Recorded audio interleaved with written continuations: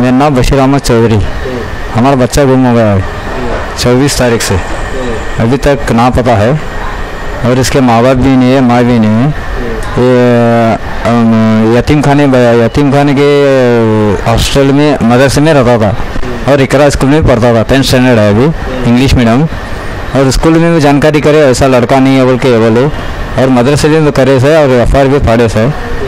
गुम हो गया है। इसीलिए सर, कोई भी इसको देखा, कोई भी जाना तो हमारे इस नंबर पर कॉल करो। मेरा मोबाइल नंबर है eight one two three zero two double four seven three ज़रा बहुत बड़ी मेहरबानी होती। पर Muiz Khan Shibli